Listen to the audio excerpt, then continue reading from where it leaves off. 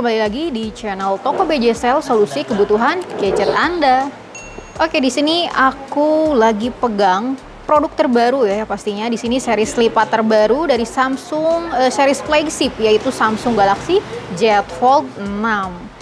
Ya, di sini aku udah nggak ini ya, udah nggak sabar banget pengen tahu uh, detail bentuk dari si Samsung Galaxy Z Fold, Z Fold 6 ini kayak gimana. Pasti dari kalian juga pengen tahu ya, nggak sabar pengen lihat. Oke, di sini dari tampilan awal juga udah terlihat ya e, bentuk dari si Samsung Galaxy Z Fold 6 ini. Nah, ini seperti ini kayak gini. Terus di bawahnya juga ada tulisan e, ini tulisan warna silver Samsung e, dari si Samsungnya sendiri Galaxy Z Fold 6. Di bagian samping dusnya juga sama, ada tulisan ini ya Samsung Galaxy Z Fold 6 juga di sini juga sama, ada tulisan Samsung. Dan di samping sebelah sini ada serial nomor atau emailnya. Nah, di sini aku mau unboxing si Samsung Galaxy Z Fold 6 ini varian warna Heroes-nya, yaitu warna uh, Silver Shadow. Yang mana di sini untuk warnanya itu ada tiga varian.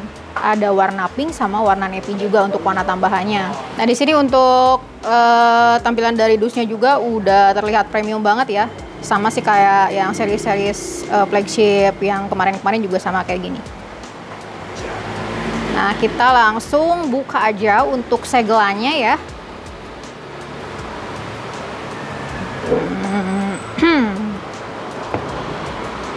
Nah kita buka dulu. Nah ini dia. Kita lihat untuk bagian kotak dusnya dulu di sini ada apa aja Bentar ya, kita buka dulu. Ada kabel chargeran atau kabel data C2C warna hitam. Terus ada juga ini ya, buku panduan singkat. Dan di sini juga ada ini ya, SIM injektornya seperti ini. Oke, kita langsung ini dulu. Oke, kita langsung rapiin dulu ya untuk si dusnya ini. Nah ini dia untuk si Samsung Galaxy Z Fold 6 ini. Nah di sini uh, untuk si ininya ya, untuk ukurannya tuh emang benar-benar tipis banget. Yang mana di sini untuk ukurannya itu tipisnya itu ada di 5,6 mm. Jadi dia tuh lebih tipis banget dari seri sebelumnya ya. Dan pastinya kalau misalkan lebih tipis, tentunya juga untuk beratnya, untuk bobotnya itu semakin ringan. Nah, di sini diklaim untuk ringannya itu berat e, beratnya itu ada di 239 gram.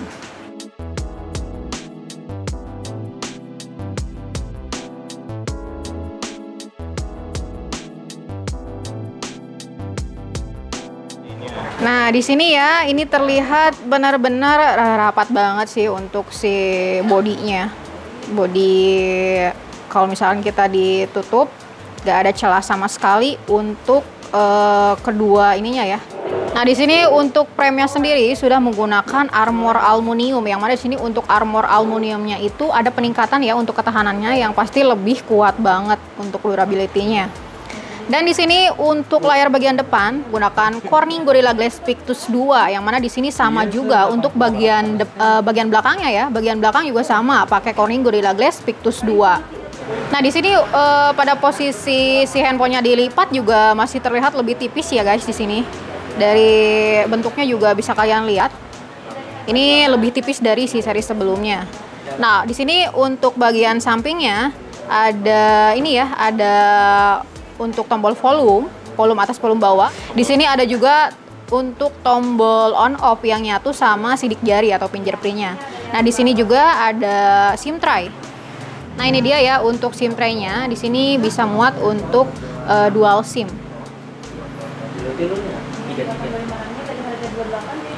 Lanjut untuk bagian bawahnya di sini terdapat mikrofon dan speaker. Ada juga port untuk chargeran. Untuk bagian atas juga sama. Di sini ada speaker sama mikrofon juga. Nah untuk sisi bagian uh, samping Sisi bagian samping sebelah sini seperti biasa ini uh, engsel yang terdapat tulisan Samsungnya. Langsung aja kita coba untuk nyalain handphonenya. Oke, di sini untuk layarnya untuk layarnya di sini masih berukuran sama ya kayak yang dulu yaitu di 7,6 inch yang mana di sini memakai Dynamic AMOLED 2X. Nah, di sini untuk uh, ukuran dari si cover screen-nya itu mungkin di sini sedikit lebih luas ya dari si bezelnya itu.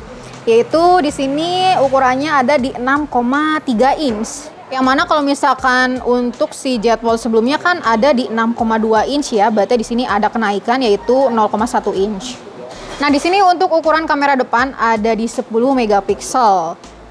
Terus untuk ukuran kamera, kamera di kamera belakang itu ada tiga ya. Yang kamera utamanya itu beresolusi di 50 megapiksel. Sedangkan untuk uh, kamera ultrawide-nya ada di 12 megapiksel dan kamera telenya ada di 10 megapiksel dengan tiga kali optical zoom. Nah, di sini ada juga kamera di layar utama ya.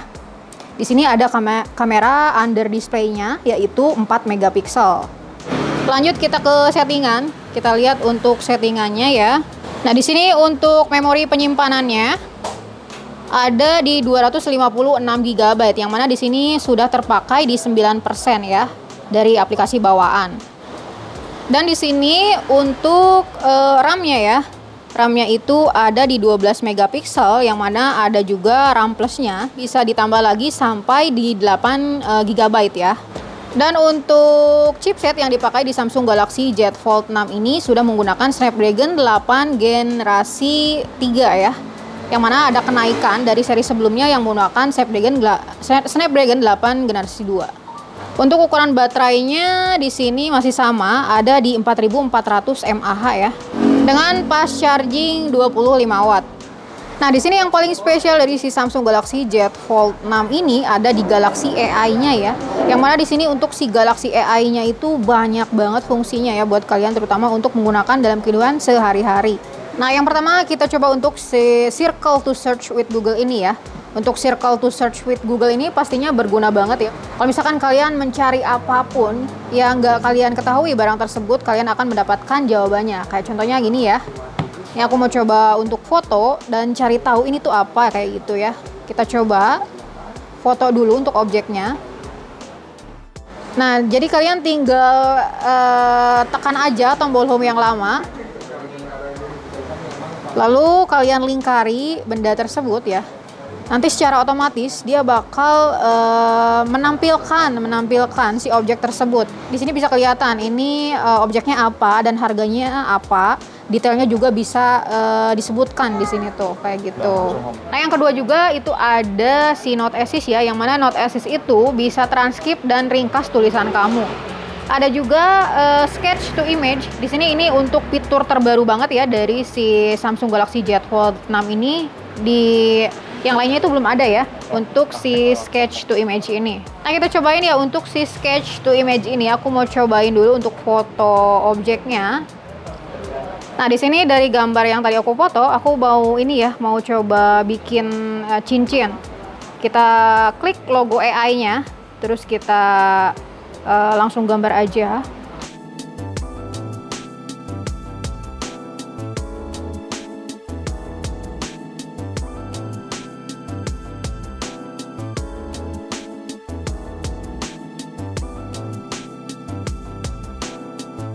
Ini jadi cincin meskipun bentuknya belum sempurna ya, tapi dia udah kelihatan ini cincinnya.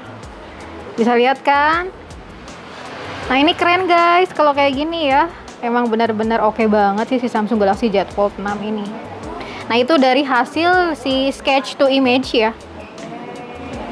Nah, yang selanjutnya juga ada mode interpreter, yang mana di sini in, uh, mode interpreter itu cocok banget buat kalian ya, yang misalkan mau pergi-pergi ke luar negeri atau traveling, karena di sini untuk si mode interpreter itu dia bisa jadi penerjemah uh, ini ya bahasa secara real time tanpa uh, tanpa koneksi internet sekaligus teman-teman ya.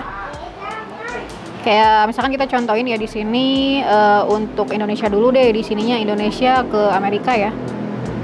Aku contohin. Halo, nama saya Yeni. Saya berasal dari Indonesia. Hello, my name is Yanni. I'm from Indonesia. Nah, itu ya. Nah, kayak gitu teman-teman. Jadi cukup mudah banget menggunakan si mode interpreter itu ya. Jadi e, ngebantu banget kalau misalkan kita ada keterbatasan bahasa asing. Kalau misalkan kita lagi traveling atau pergi ke luar negeri. Jadi tinggal pakai mode interpreter aja tanpa harus ada koneksi internet. Keren banget pastinya ya. Nah, buat kalian yang mau ikutan pre-order nih, cepetan ya sekarang mumpung masih ada masa pre-order di batch satu ini karena di sini ada benefit yang karena di sini ada benefit yang pastinya itu uh, menguntungkan banget teman-teman ya. Yang pertama itu ada voucher, voucher bundling sebesar 1,5 eh, juta untuk si Samsung Galaxy Z Fold 6. Sementara untuk si Samsung Galaxy Z Flip 5-nya yaitu vouchernya itu di 1 juta rupiah. Ada juga untuk perlindungan S-Care Plus ya selama satu tahun untuk keduanya. Nah di sini kalian juga akan mendapatkan eSIM sebesar 150 GB selama satu tahun ya uh, untuk si untuk yang mengikuti pre-order di batch 1 ini. Jadi buat kalian yang mau pre-order Samsung Galaxy Z Fold 6 dan Z Flip dan Z Flip 6 bisa langsung datengin aja kita di BJ Sale di Jalan Suha nomor 214 dan ada juga Intikom di Jalan Kiai Haji Abdul Halim nomor 226 Majalengka. Dan terima kasih ya buat kalian yang sudah menonton video unboxing ini sampai selesai. Ketemu lagi di video selanjutnya. Bye!